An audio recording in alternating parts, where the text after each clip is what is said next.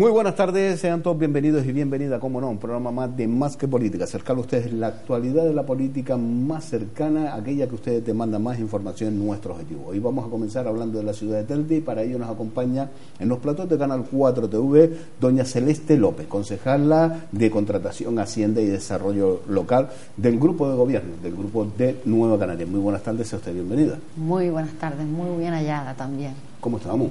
Muy bien. Oiga, doña Celeste, antes de entrar en materia política del día a día de la gestión, me gustaría, oye, siempre hay un encuentro con amigos y amigas, simpatizantes, que han tenido ustedes el pasado jueves en la finca Alba, eh, ese encuentro de la gran familia de, Nueva Canaria. Pues sí, nosotros solemos cerrar pues los cursos políticos, como es el caso de ahora, con un encuentro eh, con todos pues, los amigos, las amigas, los simpatizantes, la familia y le damos cuenta de cuál ha sido pues, pues el balance de ese año. Nos suelen acompañar pues referentes de Nueva Canarias, en este caso nos acompañaba eh, Román Rodríguez y también Antonio Morales, presidente del Cabildo. Estaba por supuesto la alcaldesa, había consejeros y del Cabildo de Gran Canaria y estuvimos muy arropados. Eh, de la actualidad cifraba pues alrededor de 400 personas la verdad es que fue un encuentro, pues siempre es muy emotivo encontrar a personas que no las ves por otros motivos y tienes un ratito para hablar. La verdad es que fue un, un evento emotivo y bonito y que hacemos un balance, nos marcamos objetivos para el próximo eh, pues curso político que empezará después del Pino y, y ya es un año importante el que comienza. El curso político próximo es un año muy importante para todas las formaciones políticas porque como sabemos en el año 2019 hay un encuentro electoral, una cita electoral importante para los ciudadanos y ciudadanas de Telde. Podría haber hasta tres encuentros en ese año 2019. Bueno, siempre va, eh, también hacemos un encuentro, por supuesto, el que se acerca a la Navidad, siempre para desear, pues, feliz Navidad, próspero año nuevo, pero por supuesto el año el año que viene será un año muy activo, donde nos tendremos que reunir con todos los sectores, por, por sectores económicos, por sectores geográficos, será un año como siempre. Pero es verdad que nosotros, eh, mm, desde el gobierno, con las asambleas que hacemos por distrito, desde el partido, con las reuniones continuas que tenemos en todos los barrios, con todos los sectores, no solo por la actividad del gobierno, sino también por la actividad del partido estamos siempre en contacto con, con, la gente, se hacen eventos puntuales así tan grandes, pero sí que el contacto es continuo porque es la manera de pulsar la calle y es nuestra manera de hacer política. ¿no? Nosotros somos todos gente que venimos de la actividad social, de cualquier punto de vista, entonces seguimos haciendo esa actividad social a través de la militancia política con el objetivo de cambiar nuestro entorno, que yo creo que es el objetivo de cualquier persona que se implica en la sociedad. Quien está en una asociación de vecinos es para hacer que su barrio esté mejor. Quien está en el club de fútbol donde están tus niños o niñas es porque quieres que sea que funcione bien el club de fútbol y que tus hijos reciban unos buenos valores. Al final esa es la implicación y yo creo que es importante y es bueno y yo creo que es una experiencia que tendrían que probar todos los ciudadanos, el implicarse en política es algo muy interesante y muy tiene también, se aprende mucho y yo creo que te, enseña a ponerte en el lugar de, del otro y también es muy reconfortante cuando alcanzas algún objetivo importante. La vida de, los políticos no les genera un estrés, en este caso, no les genera ese estrés de, estar eh, problemas, más problemas, más problemas. Y usted lleva áreas de muchas, eh, podemos decir, de carteros ardientes y saltando en el fuego. Bueno, la vida del político que está en el gobierno y que gestiona, como en mi caso o como en el caso de otros compañeros, un gobierno en minoría, que hay que repartir pues más concejalías entre menos compañeros y compañeras, pues es bastante estresante. Pero yo siempre digo, mm, sarna con gusto no pica. Esto también es un trabajo que a todos nos gusta y que creemos que es nuestra responsabilidad y lo hacemos, yo por lo menos lo hago con muchísimo gusto porque todos los días aprendo, todos los días me encuentro con alguien que, que me da una enseñanza o me da algo para, para lo que reflexionar. Y hay dos pilares, yo diría tres pilares fundamentales. Eh, un buen equipo, eh, tienes que tener personas a tu alrededor con las que puedas contar y con las que puedas colaborar. En las concejalías que yo tengo, tengo equipo en todas y cada una de ellas. Y una buena organización. Yo soy maniática de las agendas, de las listas, de, de tenerlo todo organizado y es muy importante. Y después hay otro pilar que si me permites, a lo mejor no me preguntabas por él, pero yo creo que se merece nombrar lo que es la familia, que es la familia que te apoya y los padres, madres, compañeros, compañeras, hijos e hijas que tienen comprensión y saben cuál es tu objetivo y te apoyan y por eso te lo hacen más fácil y más llevadero. Ese es, el lado más sacrificado. Bueno, yo creo que como te plantees la vida, yo creo, yo he aprendido de compañeras mías como por ejemplo Fefi Milán, que cuando hablábamos de la situación en la que uno tiene niños pequeños y los niños te plantean yo quiero una madre normal, que esté aquí a las 3 de la tarde o a las 5 de la tarde, pues nos enseñan a que a los niños hay que enseñarlos que, que su madre se está dedicando a una actividad que requiere de un compromiso y que, y que es una manera de vida y los niños mm, tampoco es como tú te lo plantees, yo no lo, yo no lo recibo como un gran sacrificio, no, no. Yo será que lo hago con gusto, no, no, no percibo yo. Hay épocas que estoy cansada, pero yo he tenido otros trabajos fuera del ámbito público en las que me pasaba lo mismo.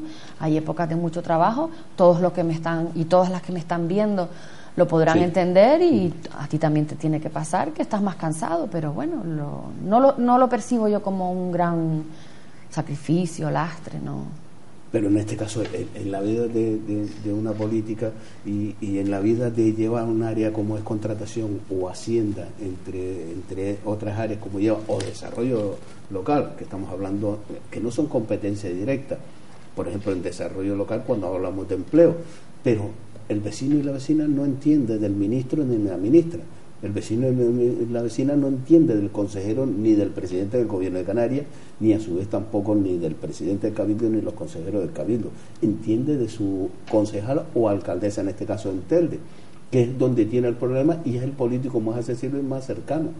Ese por eso decimos que sí, cuando alguien trabaja en la empresa privada, trabaja en la empresa privada, se centra en una empresa privada. Pero usted trabaja en una, podemos decir, una empresa pública, gestiona una empresa pública, hace función en una agencia pública, pero que tiene que abrir eh, eh, el punto de mira en otras instituciones, esperando que, ese proyecto que, ha llevado a cabo, pues para, ver si viene o no viene, que si el dinero lo tenemos, si no lo tenemos, que si viene una sentencia, que no si viene una sentencia, que se ha retrasado los, los proyectos, que si se paraliza por, por parte de otras instituciones, que los tiempos se me vencen, que los proyectos se me vencen, que tengo que volver, eso es un sin vivir y sobre todo con la burocracia política que hay. Bueno, Paco, yo como te decía, importantísimo tener equipo en esas concejalías y en lo que la ciudadanía, todos, la puerta más cercana en el ámbito de las administraciones para los ciudadanos y ciudadanas es el ayuntamiento. Todos cuando tenemos un problema, pues miramos directamente al ayuntamiento. Pero también es cierto que la gente cuando tú le explicas las dificultades, cuando les contestas a sus consultas, cuando te comprometes a algo y les dices, no he podido mm, realizar el compromiso porque he tenido esta y esta, esta dificultad, vamos a intentarlo de esta este y, volvemos a marcar otro plazo, la gente es muy razonable. No hay excepciones, por supuesto, como en todos los lugares, pero yo creo que cuando vas de frente, cuando cumples tu palabra, cuando la gente ve que tú te estás involucrando, y ciertamente hay que dedicarle muchas horas, hay que dedicarle mañana y tarde, y mucha organización y apoyarte en buen equipo y explicar y dar la cara, no hay complicaciones. Es que digo que todo eso lo padece, lo vive la familia porque nadie se desconecta. Yo creo que usted no se desconecta cuando llega a su casa, por mucho que, usted me diga, no, es que eso eh, tenemos que dedicar un tiempo a los hijos, los hijos lo comprenden. No, no puedo comprender porque cuando usted tiene un problema en el ayuntamiento por una gestión, porque las ayudas no han llegado, porque el, expediente se ha paralizado, porque no le han respuesto en tiempo y forma, porque hay otras personas que están dependiendo de ese expediente que se va a retrasar otros expedientes. Es que no eh, es una casa de locos.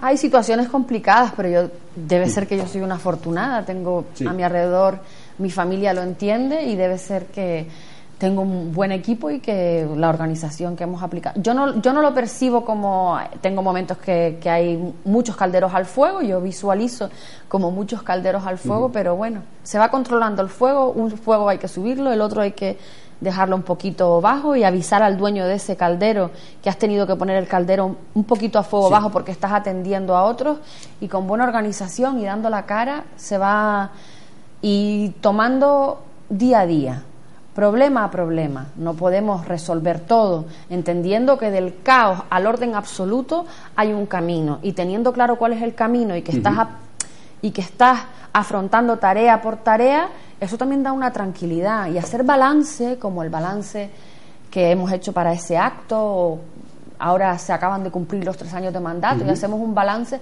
eso también da tranquilidad. La tranquilidad la tiene desde el día primero que tomó posición de su cargo de las áreas que usted gestiona, por ejemplo, Hacienda y contratación, a, tres años ya que lleva de gestión y a poco menos de un año que está de las próximas elecciones, 2019 se ha terminado este curso, el tercer curso, y ya quedan el, último, podemos decir, los últimos exámenes. Sí, no yo no se tiene la tranquilidad cuando uno afronta al inicio, tienes que conocer exactamente cuál es el estado de las cosas y yo, si, me, si hacemos un repaso, recordar que nosotros entramos en el gobierno a una institución que le faltaban recursos humanos, con una deuda altísima, eh, con una ciudadanía descontenta porque le habían subido los impuestos al infinito y más allá, se habían recortado todos los servicios, se habían cerrado las escuelas infantiles,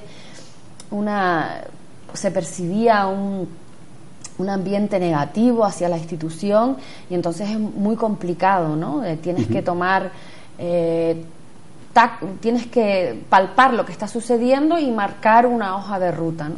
Entonces, al inicio no es tan fácil. Ahora podemos tener la tranquilidad de que nos hemos marcado una serie de objetivos que los hemos alcanzado y tenemos claro lo que hay que hacer de aquí a final del mandato y también tenemos claro lo que queda por hacer. Como digo, sabíamos de dónde partíamos, no lo sabíamos. Lo, hemos, lo estudiamos en esas auditorías de, de gestión de cada área que hicimos al inicio del mandato pusimos una hoja de ruta con unos, con unos medidores y con unos objetivos y, y, eso, la tranquilidad de ir cumpliendo esos objetivos sin, sin perder de vista todo lo que queda por hacer, que es mucho. Eh, eh, es uno de los motores de, de, una administración, es la economía.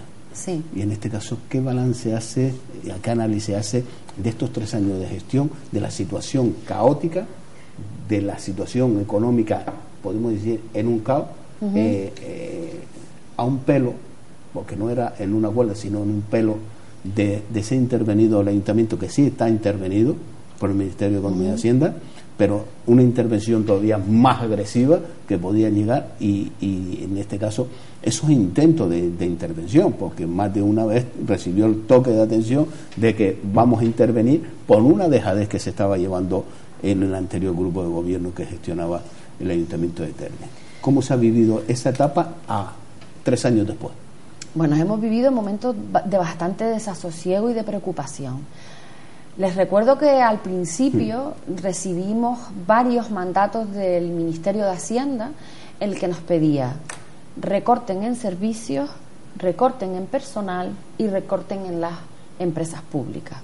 Nosotros nos negábamos, porque nosotros no habíamos llegado al ayuntamiento para hacer lo mismo que habían hecho el grupo de, gobierno anterior. Ante una situación difícil económicamente, mirar hacia los ciudadanos y darles a ellos la consecuencia. No, nosotros fuimos a Madrid, quien les habla y la alcaldesa, fuimos a Madrid en dos ocasiones y les dijimos que nosotros creíamos que el ayuntamiento de Telde tenía suficiente capacidad y recursos para, marcando una hoja de ruta clara, poder evitar todos esos recortes. Nos dieron un periodo de gracia, por decirlo de alguna manera, cumplimos con todo lo que nos habíamos, eh, todos los, los, objetivos que nos habíamos puesto, que ahora si quieres te cuento muy someramente.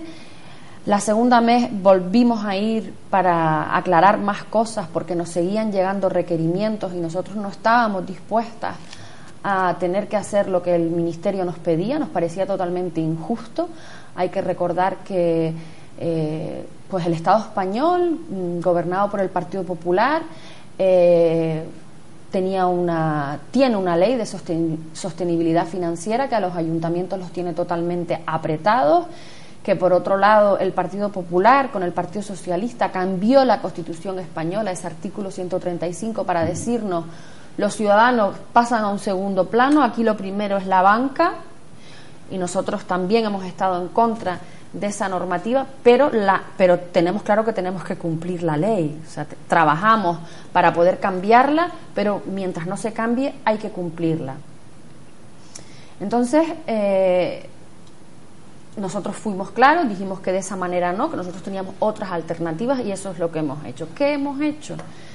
Nosotros teníamos en Telde, además de esos corsés que nos ponía el Estado, el gobierno anterior del Partido Popular decidió en Telde hacernos un plan de ajuste. Además de todo lo que nos venía desde Madrid, voluntariamente asumimos otro plan de ajuste más, con más recortes de servicio, con más presión hacia el ciudadano. Nosotros le dijimos a Madrid, ya está, ya basta, la gente de Telde no se merece ni puede aguantar más recortes y nosotros venimos a cambiar esto. Y así, lo, y así hemos hecho todo lo que hemos podido. Hemos mm, afrontado la deuda en tres dimensiones. La primera es la deuda a los proveedores.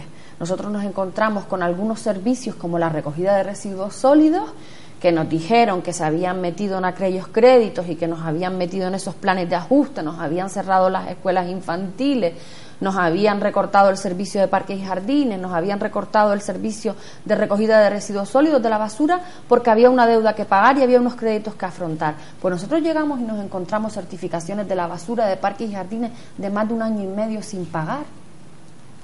Nosotros hicimos números, hicimos frente a toda esa deuda, toda esa deuda antigua con los recursos del ayuntamiento que tiene suficiente, los ciudadanos y ciudadanas de Tele tienen que saber que con lo que nosotros recibimos del gobierno del Estado, del gobierno de Canarias, del gobierno del Cabildo y con lo que aportan los ciudadanos a través de sus impuestos, hay garantía para pagar los sueldos y para pagar los servicios esenciales. Y aún así, tendría, tenemos para hacer más. Nosotros hemos mantenido los servicios, no hemos subido la presión fiscal y en cambio hemos pagado la deuda, ahora mismo la deuda cotidiana del ayuntamiento la estamos pagando alrededor de en 25 días. Las ayudas sociales, cuando llegamos, Paco, que es muy triste que una familia tenga que esperar siete y ocho meses para recibir una ayuda para pagar el agua, para pagar la luz, para pagar los alimentos, porque no puede, no, no es un gusto, ninguna familia se dirige a los servicios sociales por gusto. Nosotros ahora estamos pagando esas ayudas alrededor de un mes o mes y medio. Veníamos de un periodo de siete a ocho meses. Fuimos el primer municipio en decir no se le puede cortar la luz y el agua a nadie el primer municipio en poner en la mesa a todas las entidades bancarias y decir, vamos a intentar que no exista ningún desahucio en este municipio. Y con todas esas medidas, aparte de sanar financieramente, también hemos volcado nuestros esfuerzos en la ciudadanía y en los servicios y en las necesidades de la gente. Por ahí la deuda comercial. Nosotros nos encontramos con un montante importantísimo, 111 millones de deuda a los bancos. Entonces, esta última liquidación porque hemos hecho los deberes bien hechos en cualquier familia. Cuando se cierra el año y uno va a ver lo que le queda para los reyes o para pagar las deudas, nosotros hemos liquidado ese presupuesto con 22,9 millones de euros. La ley de estabilidad nos obliga ese dinero a aplicarlo al pago de la deuda. Y eso es lo que hemos hecho. Estamos haciendo el expediente, ya está aprobado por Junta de Gobierno. Parece ser que hay alguien que no le gusta, está intentando pararlo, pero que haya tranquilidad, que eso lo vamos a, resolver. Y vamos a aplicar estos 22,9 a la deuda con los bancos y vamos a pasar de 111 a 59,9. Esto significa bajar la hipoteca del ayuntamiento en tres años a la mitad. ¿Ustedes saben lo que le supone a cualquier familia bajar su hipoteca a la mitad? Va a tener una hipoteca recortada en cantidad y en años, por lo tanto va a poder dedicar esos recursos desde que pueda a otras cosas.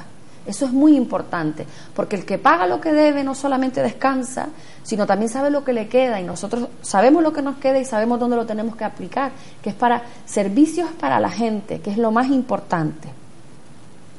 Y también había otro, otro tema importantísimo en este municipio en, relación a la deuda, que era la deuda de los expropiados. Una deuda que lleva muchísimos años, que nadie afrontó nunca y nosotros hemos hecho un inventario de esa deuda, nos hemos sentado con el Tribunal Superior de Justicia de Canarias, le hemos realizado un planteamiento que han eh, aceptado, empezamos con 38 millones, ya hemos pagado 14 millones y estamos haciendo la tarea despacito con buena letra, pagando toda la deuda, porque todo el mundo sabe que en su casa lo primero que hay que, que, hay que hacer es ordenar lo que es, lo que te entra y lo que sale, para poder saber qué futuro nos depara. Y gracias a este trabajo que hemos realizado, no solamente lo decimos nosotros, nos lo ha reconocido el Ministerio de Economía y Hacienda, nos lo reconoce el Gobierno de Canarias a través de sus auditorías de gestión que nos decía que habíamos cumplido todos los parámetros y que incluso estábamos mejorando en otras cosas que ellos tenían planificado para nosotros más adelante y nosotros ya hemos empezado a hacerlo. Yo tengo que felicitar al, equipo económico del ayuntamiento que verdaderamente ha hecho un esfuerzo. Teníamos problemas administrativos en la gestión de las facturas, que eso también hacía que no pagáramos a tiempo. Todo eso estamos afinándolo y poniéndonos de acuerdo con los jefes de servicio, haciéndole un seguimiento y hemos recuperado la base del control económico del ayuntamiento. Y eso es muy importante porque seguimos teniendo una deuda importante, pero ya teníamos la oportunidad hace unas semanas de hablar con un gran empresario que tiene eh, pues una empresa importante aquí en las islas y le hablábamos de los datos después de esa liquidación. Y entonces él nos decía, pues ahora mismo ustedes ya tienen una deuda que para el presupuesto que tienen, la dimensión que tienen, el Ayuntamiento de Hotel es la empresa más grande del municipio, pues es una cosa dentro de, unos estándares normalizados. Y yo creo que eso hace que el ciudadano y ciudadana de Telde pueda recuperar poco a poco, oye, estamos pagando los bancos, estamos devolviendo las subvenciones y, justificándolas a tiempo.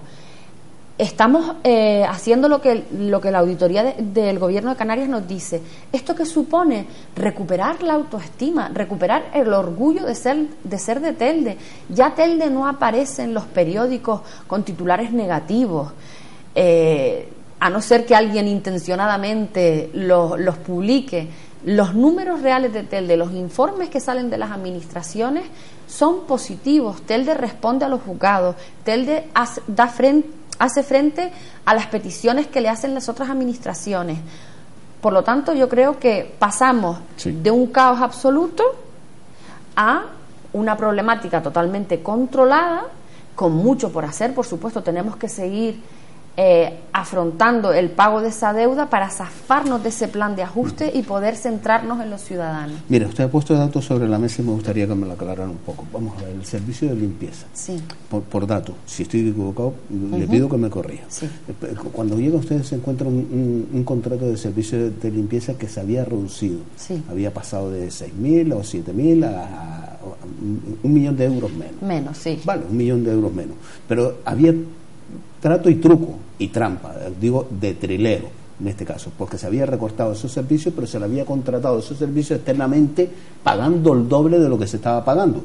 Eso no se le llama tomar el pelo a los ciudadanos, en toda regla, cuando presumimos de una rebaja de, del gasto en servicio, cuando le, ocultamos a los vecinos de que cuando llega el verano hay que limpiar las playas y hay que contratar ese servicio y se va a pagar el doble. Bueno, Paco, yo no, no le quiero poner adjetivos. A, nosotros nos gusta mirar hacia el futuro. Usted dice que no quiere. Vamos a ver, cuando se cierran las escuelas de, música, por ejemplo, y ahora vemos que se lleva al pleno una factura de, de 5.000 euros para pagar instrumentos. Eso es tener cara. Políticamente es tener cara porque. Si me lo permites, es una hipocresía. Cierras unas escuelas de música y compras instrumentos aparte esto que, bueno, los instrumentos se compraron para la Casa de la Juventud, para que los chicos que lo van a utilizar... Pero cierras el corazón, que es la escuela de música. El problema no es ese, Paco. El problema es que si ya eso grave, la dejación absoluta que tenían áreas como cultura, como juventud, es que ahora las mismas personas que cerraron esas escuelas y que, y que defenestraron áreas como cultura y juventud, llevamos nosotros como responsabilidad el trámite, porque el pobre, la pobre empresa que vendió esos, esos instrumentos, ¿qué culpa tiene? Ninguna. Nosotros ahora recogemos esa factura, nos sentamos con el proveedor, llegamos a un acuerdo con él para que no se vaya a los juzgados, la llevamos al Pleno para aprobarla y el grupo político, el Partido Popular, que compró esos instrumentos, no vota a favor. Tú, eso alguien con sentido común me lo puede explicar. Oye, si los compraste tú, ¿cómo vas ahora a no aprobar el que nosotros responsablemente gestionemos el gasto y le, y, paguemos al pobre hombre o a la pobre empresa que nos vendió esos instrumentos. Y en relación a lo de la limpieza, mm, recordemos que en el mandato anterior no solamente se recortaron esos servicios, se echaron a muchas familias a la calle, a gente de parques y jardines, a gente de la recogida de residuos sólidos, agente de recaudación, no nos olvidemos, muchísimas familias, a todas esas trabajadoras de las escuelas infantiles, a los profesores y profesoras de la escuela de música, aparte del drama y de la irresponsabilidad de quitarle a los ciudadanos derechos, porque los servicios no son servicios, son derechos ciudadanos. Los ciudadanos de Teldi se merecen tener una escuela de música, unas escuelas infantiles, un servicio adaptado a una ciudad de 103.000 habitantes y que es la segunda ciudad más importante de Gran Canaria. Es una vergüenza política cerrar eso. Sobre todo, es lo más fácil. Lo más fácil es cerrar servicios en vez de ajustarte el cinturón, reprogramar, reprogramar las cosas y hacer como hacían todas nuestras madres y nuestros padres, con menos hacer más. Y eso es lo que estamos haciendo en este mandato.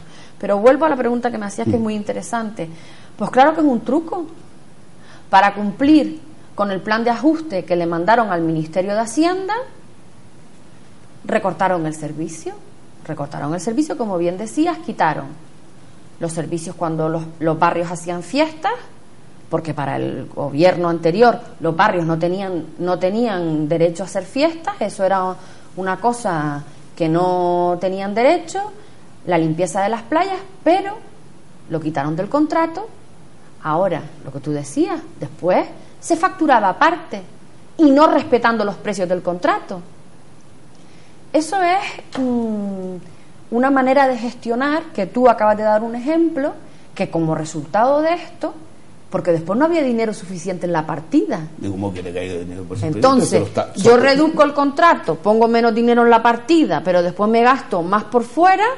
Esos son, para que la gente me entienda, todos los marrones que hemos nosotros que tenido que ordenar y dar cobertura presupuestaria y tener que hacer las negociaciones con los proveedores, pero claro que es más fácil hacer eso, claro que es más fácil, al igual que lo que se hacía en la etapa anterior en festejos, que se, que se encargaban y encargaban y encargaban cosas sin cobertura presupuestaria y que el señor Martel en su auditoría de gestión al principio del año del mandato dijo cómo estaba ese resultado, pero esas son las maneras distintas de gestionar, desde la responsabilidad, desde el pensar. Cuando la gente dice hay que, hay que gestionar los recursos públicos como si fueran los de tu casa, yo digo no. En los de mi casa, si yo me equivoco, si yo me equivoco y en vez de hacer arroz para cuatro, hago arroz para seis y lo tiro, pues es mi responsabilidad y es mi casa. Pero cuando los recursos son de todos, ese dicho que es muy fácil tirar con pólvora ajena, hay que tener un grado de responsabilidad muchísimo mayor que cuando uno gestiona sus propios recursos. Mire, eh, ha, puesto usted un tema sobre la mesa que también yo creo que eso es muy grave. Creo que es muy grave, es mi opinión. ¿eh? Sobre todo cuando alguien ha, contratado un servicio, se lleva mm, otro gobierno o se lleva esas facturas de esos servicios que yo he contratado a, pleno, lo más normal es apoyarlo. Es lo más normal. que estamos provocando? ¿O que se intenta provocar? De que no se apruebe esos pagos y el proveedor, que a lo mejor se ha sentado con usted y usted mira, mm, ten paciencia, nos vamos a juzgar porque esto va a aumentar, eh, por lo menos lo, tenemos claro, el llevarlo a juzgado incrementará la, el pago de esa factura porque habrá que pagar costas, habrá que pagar intereses y, todo lo que se incrementa. Vamos a solucionar. Oye, es que llevo cuatro años esperando y alguno llevará algo más. ¿Para cuándo me lo van a pagar? Es que yo estoy ahogado, porque seguro que son pequeñas empresas que están ahogadas, porque tendrá que pagarle también sus proveedores, porque a usted le ha vendido la guitarra en la, tienda de, instrumentos, pero a su vez tendrá que pagarle al fabricante, digo yo, claro. como mínimo, por lo cual también está ahogado. Y que no se apruebe eso que está provocando a que el, el, el, proveedor que ha dicho, bueno, te voy a dar una segunda oportunidad, voy a confiar en ti, y le llega y ve ese panorama, yo le digo una cosa, no tengo muy claro, no termina el pleno y yo estoy en el juzgado, presentando una demanda, pero por activo y por pasivo, ya no puedo ir más. Es decir, espérate un poco que esto se va a solucionar. Y eso no es una falta de irresponsabilidad por segunda vez, pero con agravamiento. Sí, Paco, es una irresponsabilidad, sobre todo cuando eres tú quien lo has encargado. Tú le encargas a una persona un trabajo, no le gestionas la factura y encima cuando viene otro grupo de gobierno le gestiona la factura, tú no votas a favor. Pero cosas como esta, desgraciadamente estamos acostumbradas a verlas en el Pleno. Miren, eh, acompañan a las personas que son afectadas por la empresa que no le paga a las limpiadoras, Rallons. Eh, se manifiestan en su favor diciendo las pobres, diciéndonos empatía, este grupo de gobierno, no ya está, se firma este jueves el nuevo contrato de limpieza de los colegios eh, del municipio, pero en tanto en cuanto ese contrato está en, adjudicándose, hay que hacer un, el reconocimiento, no lo puede hacer la concejala de educación porque el contrato está vencido y tiene que ir a pleno para reconocer la factura. Pues llevamos esa factura y esas mismas personas que salen apoyando a las limpiadoras que no cobran pues esas mismas personas no votan a favor de esa factura.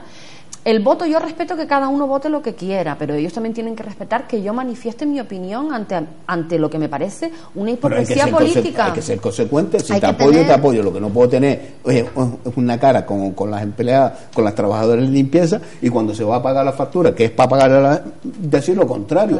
O dices blanco o dices negro. Tírala a las trabajadoras, no, no estoy de acuerdo, lo voy a votar en contra y ustedes no van a cobrar punto y pelota. Es que hay un concepto que yo creo que hay gente que no entiende. Vamos a ver, nosotros cuando estamos en el Pleno somos 27 concejales que a los 27, gobierno y oposición, se presupone que tenemos que trabajar por el bien común del municipio. Fuera del Pleno, cada uno depende de sus siglas y es normal el regate político el criticar que el otro lo haya hecho de una manera que tú lo, tú lo harías distinto.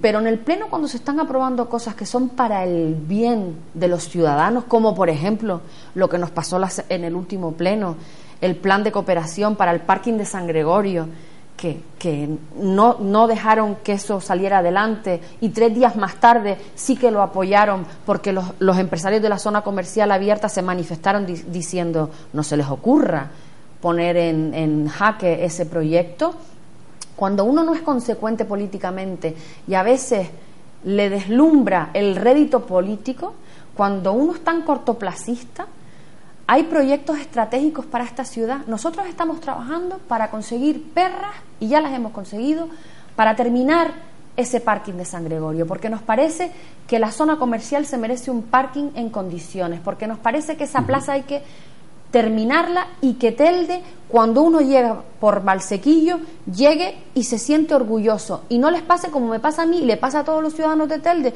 que pasamos por ahí y nos da tristeza, nos da mal sabor. Tenemos ahí una parte de la ciudad sin terminar. Lo mismo que nos pasa por Arauz cuando venimos por la carretera vieja de Ingenio, que es una zona que tenemos que terminar la urbanización para que la inversión entre, se edifique y cambie el municipio. Todas estas cosas, el parking de San Gregorio, que estamos buscando dinero y que estamos con el, mm, con el, con todo para sacarlo adelante, seguramente que este gobierno no lo va a inaugurar, lo inaugurará el próximo gobierno, que todavía los ciudadanos no nos han dicho quién van a elegir, puede ser cualquiera de los 27 concejales. Puede ser cualquiera de la formación política o alguna que no esté todavía en el salón de pleno. Por lo tanto, hay cosas que no se entienden dentro del ayuntamiento aunque las personas que dependemos de un partido político a veces nos pueda generar hasta un conflicto con el partido, hay que defender el bien común, olvidándonos del regate político y del cortoplacismo, del rédito político y olvidándonos que dentro de siete meses o ocho meses, no lo tengo contado, son las elecciones, menos de un año. Cuando eso se olvida, pasan estas cosas. Vamos a ver. Si tú estás en el gobierno y esa empresa era la mejor para encargar unos instrumentos y esos instrumentos eran necesarios, porque tú decidiste, y yo estoy de acuerdo también, que los chicos y chicas que van a ensayar a, a la Casa de la Juventud, que por cierto no podían ensayar porque es el compañero Abraham quien ha arreglado toda esa Casa de la Juventud para que puedan empezar a utilizarla, si tú pensaste que eso era lo más idóneo cuando estabas en el gobierno, no voy a ponerle adjetivos lo que significa no tramitar una factura, a mí me parece una irresponsabilidad, pero bueno, puede suceder, a todos nos puede pasar, no depende todo de nosotros. Puede haber, puede haber habido un fallo administrativo, yo no voy, no, no voy a poner dudas en algo que yo no estaba allí y no lo vi, no voy a caer en el mismo error que ellos, cuando uno está en la oposición y arreglan las facturas, ¿qué pasa? Ya ese probador no se merece el respeto que cuando lo contrataste, ¿qué pasa? Ya esos instrumentos, como tú estás en la oposición, no eran necesarios. ¿Qué pasa? La juventud de Telde ya no se merece ensayar en la casa de la juventud. Yo hay cosas que por más que le doy vueltas, no lo entiendo. Otro de los problemas eh, que, afecta a toda la ciudadanía, hablamos en materia de empleo, sabemos que el ayuntamiento no tiene competencia directa, pero volvemos nuevamente, es la administración más cercana que tienen los ciudadanos y donde primero pide auxilio. ¿Cuál es la política de empleo que se ha llevado en estos tres años? Bueno, el ayuntamiento no tiene competencias en empleo, pero está claro, este grupo de gobierno cree que tenemos incumbencia. Entonces, ¿qué hacemos nosotros desde la Concejalía de Desarrollo Local? En primer lugar, presentarnos a todas las convocatorias de subvenciones que podemos. Los trabajadores de desarrollo local, la verdad es que han aumentado muchísimo su actividad porque a todos los convenios y a todo lo que nos podemos presentar, nos presentamos pero también lo hemos hecho pensando verdaderamente en las necesidades de las personas que están en desempleo, pero también en el mercado laboral y también en nuestros empresarios y en nuestros polígonos industriales y en nuestra red de, autónomos, porque hemos puesto en marcha un plan estratégico de desarrollo local, porque nos parece importante conocer dónde están las demandas y dónde está la oferta y poner ambas eh, magnitudes en contacto. Hacemos eh, programas de acompañamiento a los emprendedores. Tenemos ahora mismo en marcha muchísimos programas. Tenemos PFAES, que son planes de formación con alternancia al empleo. Tenemos la, mm, la lanzadera de empleo. Y tenemos, ahora, hoy presentamos el, el proyecto de zonas rurales deprimidas en la que le damos la oportunidad a muchas personas de estar trabajando en el municipio para embellecer su municipio, pero también para, para tener pues las habilidades. Lo importante de un convenio no es tener trabajo durante tres o seis meses, sino para algunas personas supone pues terminar de su, su vida laboral y poder jubilarse, o para otras personas supone también el, el tener habilidades que hagan que cuando el convenio termina me pueda lanzar al mercado laboral con más capacidades y, hay proyectos que también es muy importante que la gente recupere el saber de lo que de lo que es capaz de hacer. En el proyecto Lanzadera de Empleo nos damos cuenta cómo la gente pasa por una metamorfosis, llegan duditativos, con la energía baja, la autoestima, y a través de, de recordarles de lo que son capaces, pues hay gente de todas edades, desde joven hasta mayores de 45, mayores de 55, pues recuperan y, unos a otros se ayudan, es como un sostén y en medio de la lanzadera encuentran empleo. De lo que se trata es, como te decía, apuntarnos a todas las, convocatorias que, que salen, tener un gran equipo técnico que adapta esas convocatorias a las necesidades del municipio y una cosa muy importante, hacerlo de mano tanto de las personas desempleadas como de los empresarios. La relación del ayuntamiento con la zona comercial abierta de San Gregorio ha mejorado exponencialmente, por lo tanto, las acciones que hacemos también mejoran, porque al ser la relación mejor, los empresarios están más dispuestos a colaborar con el ayuntamiento, la relación con las zonas industriales de mano del Cabildo de Gran Canaria, la compañera Minerva Alonso, y, y de los polígonos ha hecho que históricamente no tuviéramos entes de, conversación, de conservación, sino en las rubiesas, pues ya lo acabamos de, de aprobar para el Goro y la semana pasada también para, para la zona del Cortijo, la Cruz de la Gallina. Por lo tanto, vamos trabajando de mano. Hay una, lo más importante es trabajar de mano con las personas. Nos parece muy importante dónde están las personas que más dificultades tienen para buscar empleo. Están en las UTS, en las unidades de trabajo social, pues vamos de mano de servicios sociales, de las trabajadoras sociales, ponemos orientadores para que podamos orientar a las personas in situ. Y a la vez, todos esos perfiles los incluimos en nuestra bolsa de empleo.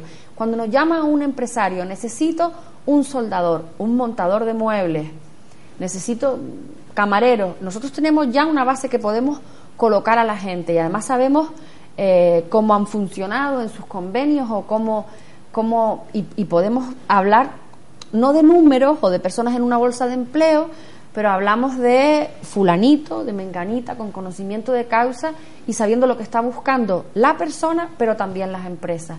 La verdad es que hay muchísima actividad en el área de desarrollo local y a cualquier persona que esté en situación de desempleo le animo a acercarse a que se deje orientar y que vea las capacidades y los recursos que tiene en la Agencia de Desarrollo Local. En estos tres años se ha llevado más de mil contratos. Sí, eh, con, si tenemos en cuenta todo, PFAES, los convenios y todo, más de mil personas. A veces tenemos a la vez a 300 personas. En zonas rurales deprimidas ahora mismo van a entrar 146 personas que se juntan con los PFAES, con el plan de empleo especial de Ginamar y se nos junta pues una cantidad muy importante. Hay mucha, mucha actividad y yo creo que eso es una alegría para el municipio. Por sobre todo, ha dado usted un dato, el, animal, ¿no? Cuando caemos en, en, caída, ¿no? Y sobre todo cuando se va venciendo los tiempos y, cada día se va cerrando más puertas en la hora de poder llevar los currículos que llevamos a las empresas y entramos en esa, mm, podemos decir, desidia, ¿no? Y, ya no, valemos para nada. Mm, se marcaban, fíjese, yo me acuerdo muchas personas, no, es que cuando llegamos a los 40 años ya nadie nos quiere contratar, ya éramos muy pesimistas, entramos en ese, en ese mm, buque del pesimismo de, y no le digo nada al que tiene 50, pues ya nadie salía incluso de su casa a, entregar un currículum porque es para qué lo voy a hacer si no me van a llamar. Hay que hay que plantearse, como se decía antes, no me mm. acuerdo cómo decía, que para cada caldero hay una tapa, o sea, para cada persona está su lugar donde debe estar, da igual la edad, eh, hay que creérselo, prepararse, eh, hay que buscar maneras diferentes de buscar empleo. A lo mejor ahora mismo la puerta fría e ir a llevar un currículum no es la manera más idónea, sino hay que tener un perfil en redes sociales, hay que aprender al marketing personal, cómo se debe hacer. Eh, y para todo eso estamos centrados. Para el tema de las personas incluso mayores de 65, en ese plan de desarrollo local tenemos pensado un proyecto que es precioso, que es involucrar a personas que han dejado su empresa tradicional, pues para la gente que es emprendedora, que puedan nutrirse de su conocimiento, porque nadie, da igual la edad que tenga, por muy joven o por mayor que sea, podemos aprender de todos y cada una de las personas y todos tenemos algo que aportar, es muy importante. Bueno, Celeste, se nos el tiempo volando, se nos quedan muchas cosas en el tintero, Tapia es que nuevamente pase por esta casa, pero ahora va a ser en el mes de septiembre. Cuando ustedes quieran, yo estoy aquí. Gracias por estar con nosotros y acercarnos la actualidad de la gestión que se está llevando a cabo en las áreas que usted gestiona, contratación, hacienda y desarrollo local. Gracias por estar con nosotros. Muchísimas gracias a ustedes. Pues cerramos esta entrevista con la concejala de contratación, hacienda y desarrollo local en el Ayuntamiento de Telde del Grupo de Gobierno de Nueva Canaria, doña Celeste López. Nos vamos unos minutos de publicidad y a la vuelta seguimos con ustedes compartiendo este tiempo de más que política.